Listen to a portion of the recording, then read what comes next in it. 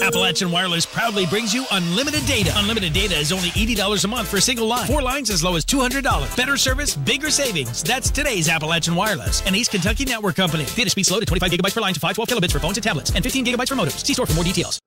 39 year old Jason Lucas was arrested Wednesday in Letcher County for allegedly torturing and killing a dog at Pistol City near the Colson community. Letcher County Sheriff's Deputy Alicia Congleton said the dog, named Spike, had gotten out of its yard and walked up the road. She said Lucas shot Spike when it got into his yard, and when Spike fled, Congleton said, Lucas and two other people allegedly followed him down the road in a vehicle and shot the dog at close range and in front of the 10 year old grandson of the dog's owner. They got in a vehicle, followed the dog all the way to the mouth of the holler, away from the initial incident. Uh, according to a juvenile who was a 10 year old uh, boy, uh, watched this man get out of a vehicle and get down on his knees and shoot this dog in the face.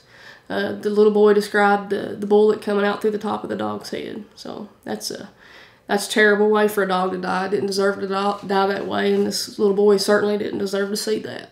Congleton said Lucas claimed the dog had attacked another dog, prompting the initial shots. She said he added that he finished killing the dog in order to keep it from attacking children playing nearby. But the deputy said the children stated the dog was not a threat to them, and her investigation found the dog posed no threat to any humans or animals at the time of the incident. The account that these kids had told me that it was pretty much uh, very close in range and that the dog was looking right at him not doing anything, and he shot it in the face.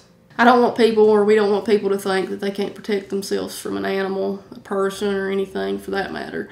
Um, but none of the evidence that I've unco uncovered in this case suggests that these people were trying to defend themselves from an attack from this dog. And they got in a vehicle and followed the dog after it fled the initial incident and followed it to shoot it in the face and kill it.